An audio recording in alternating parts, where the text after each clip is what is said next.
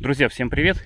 Сегодня будет информационный выпуск и поговорим мы о возможной предстоящей в скором времени блокировке видеохостинга YouTube на территории Российской Федерации.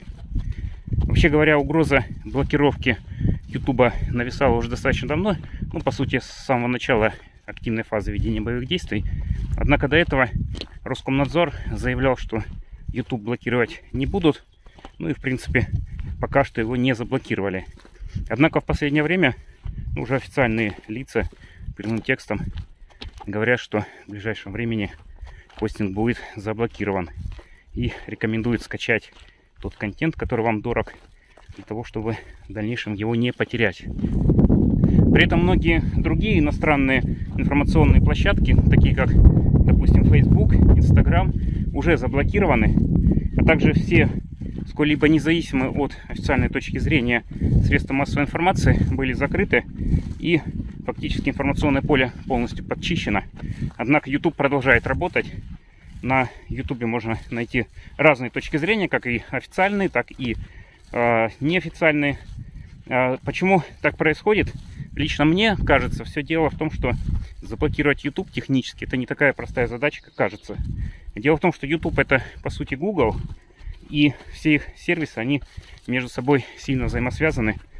Просто так заблокировать YouTube, при этом не, а, не навредив работе, допустим, Google поисковика, а, почты Gmail, а также многочисленным устройствам под системой Android, наверное, видимо, технически довольно сложно, либо вообще невозможно. Собственно, поэтому с блокировкой YouTube медлили более месяца. И, скорее всего, за этот период прорабатывались механизмы, как можно это реализовать технически. И стоит затронуть вопрос, собственно, как дальше жить после возможной блокировки YouTube. Ну, я все-таки надеюсь, что до этого не дойдет, хотя вероятность очень высока. А, скорее всего, даже несмотря на какие-то побочные эффекты, вроде поломки Google, либо почты гугловской Gmail, а, наверное, его все-таки прикроет видеохостинг. Но, значит, что можно будет делать далее? Во-первых, я вам скажу, что кроме YouTube а, канал Дикий Турист также дублируется на других площадках. Об этом был пост а, в сообществе YouTube, но его там явно не все увидели, судя по просмотрам, поэтому решил продублировать информацию в виде видеоролика, где можно будет найти меня, мои отчеты о походах, ну и чтобы просто не потерять связь. Это Яндекс.Дзен, а, это Э, значит, ВКонтакте, социальная сеть, а также Инстаграм. Причем я его начал вести недавно и буквально через месяц после, наверное, открытия э, своего профиля в Инстаграме произошла блокировка. Но э, Инстаграм очень легко обходится блокировка. То есть любым методом, это может быть Tor-браузер, это может быть VPN, какие-то прокси-сервера. Спокойно вы заходите на Инстаграм и получаете доступ к информации. Здесь проблем нету. А поэтому все ссылки а, альтернативные, где меня можно будет найти, я оставлю в описании под этим роликом. А что касается YouTube канала Дикий Турист, то по возможности буду продолжать его вести даже после блокировки. Но смотрите, какая здесь проблема. Как я сказал, что в принципе обойти подобные блокировки ну, большого труда не составляет. Можете запросто нагуглить информацию, как получить доступ к заблокированному контенту. С тем же Инстаграм это прокатывает. Потому что Инстаграм это, ну, по сути, просто фотки. А, то есть, в принципе, любой VPN, даже бесплатный, позволяет просматривать страницы в Инстаграме. А YouTube это видео. То есть это гигабайты информации, которые далеко не каждый VPN способен через себя пропустить. Я проверял разные способы. В общем, многие из них а, не позволяют нормально просмотреть ролик. А, некоторые вообще никак не открывают видео. А, некоторые позволяют там только смотреть в качестве 240p а, и так далее. То есть, ну, и реальные сложности возникают с доступом к этой информации, именно к видеоинформации. А, поэтому, во-первых, я вам могу порекомендовать расширение для браузера, которое называется BrowSec.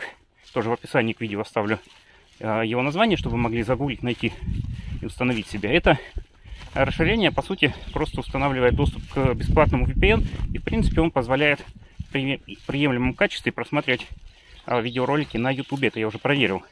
А, обязательно себе поставьте. Также с помощью этого расширения вы сможете получить доступ абсолютно к любой заблокированной информации. Это первое. А второе, как мне кажется, что в будущем, уже в недалеком, просто нужно будет э, принять такой факт, что интернет для нас, для жителей России, стал дороже на стоимость платного нормального качественного VPN. То есть, в принципе, доступа в интернет, именно в интернет, без VPN не будет. Что такое интернет? Интернет это глобальная, э, глобальная сеть. Это не закрытая сеть э, внутри, условно говоря, какого-то государства. То есть, что у нас будет вместо интернета? У нас будет так называемый чебурнет. Это сеть, которая ограничится исключительно российскими ресурсами, доступа вовне не имеет, соответственно, полностью контролируется государством. Вот. Но а, для доступа в интернет надо будет, соответственно, приобретать а, VPN. Это мое видение так ситуации, как оно будет в дальнейшем мы увидим, конечно, то есть я могу и ошибаться, но, скорее всего, просто придется к стоимости подключения к интернету добавлять еще и стоимость платного сервиса VPN. И стоит отметить, что проблему доступа к сети интернет, полноценного доступа, надо решать уже прямо сейчас, не откладывать это на будущее, поскольку блокировки накатываются просто как снежный ком. Тот же Роскомнадзор отчитывается периодически, что уже заблокировал десятки сервисов VPN, а, то есть тем самым как бы обрываются вот эти нити. Но что такое блокировка VPN? Это означает, что вы не сможете зайти на этот сервис, просто через а, обычное свое подключение. Но если вы уже подключились к VPN, естественно, это все блокировки не работают, и, соответственно, вы можете через VPN зайти на любой VPN. То есть, проще говоря, если вы подключите сейчас VPN, а завтра его заблокируют, вам это уже не страшно. А если вы сейчас не подключите, а завтра его заблокируют, вы уже и подключиться не сможете. Поэтому проблема должна решаться немедленно, как мне кажется. То есть об этом нужно думать сейчас, а не тогда, когда все будет закрыто. Друзья, ну и давайте подведем краткий итог, что же нужно делать сейчас. Во-первых, это подписаться на все альтернативные ресурсы, на которых будет дублироваться информация с YouTube канала Дикий Турист. К тому же я буду размещать на этих ресурсах какие-то важные объявления, если вдруг ну, произойдут какие-либо изменения.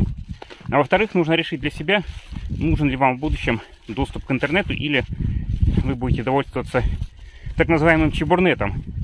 Поэтому, если вы хотите иметь доступ к полноценной глобальной информационной сети интернет, то вопросы нужно решать прямо сейчас.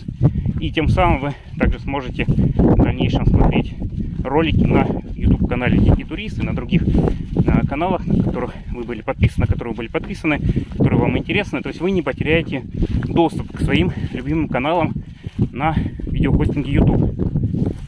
Напомню, что все необходимые ссылки будут размещены под видеороликом. И надеюсь, что скоро мы снова встретимся, прорвемся через те трудности, которые возникли на нашем пути. Канал Дикий Турист буду продолжать вести, несмотря на то, что в России отключили монетизацию. Но канал существует не для заработка денег, к тому же он никогда особо дохода не приносил. Так что буду продолжать его вести. И благодарю, друзья, за внимание. Оставайтесь на канале. До скорых встреч. Всем пока.